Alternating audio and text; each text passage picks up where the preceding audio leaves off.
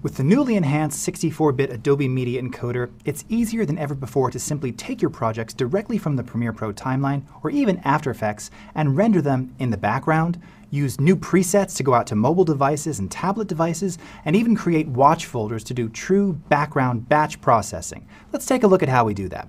So what you can see inside Premiere Pro is that we've finished up our dialog sequence and now we're ready to export this.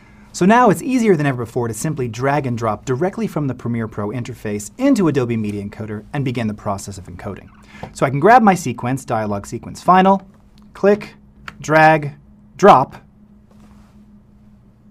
and there we are, and we're ready to begin the process of encoding. Now, of course, we can choose formats, and this is really going to showcase all of the native formats that we have in Premiere Pro, everything from H.264, DPX, AVC Intra, P2 Movies, etc.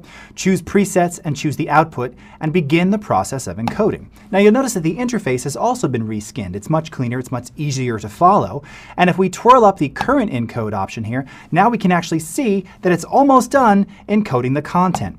But it gets even better, because I mentioned earlier, what if we actually want to take this piece of content once it's finished and actually export it out to multiple different types of media? For instance, we want to send it not only to the big screen, not only to Blu-ray, but what about devices, tablets, mobile devices? Well, we can do that with our new watch folder support. Let's go ahead and twirl this up.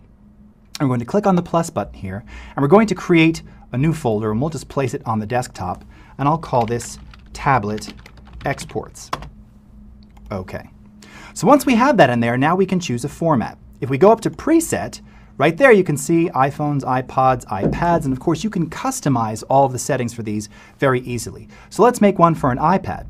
Now I want to create multiple versions at one time. I want to be able to leverage this like true background batch processing. So we can do that now with our watch folders. We can simply add that same watch folder multiple times, choose a different format. So why don't we go into something like F4V, and again, lots of different phone and tablet presets here. These are all new.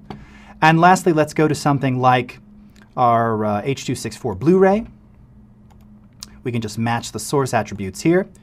It already has the output set, so now we can take that export that we just created, drop it into this single watch folder, and in the background, thanks to 64-bit, it will create versions automatically of all of these different formats that we've just selected. This makes life so much easier, and again, it's leveraging that same drag and drop that we've implemented across many of the applications in 5.5. The new Adobe Media Encoder will change the way you export.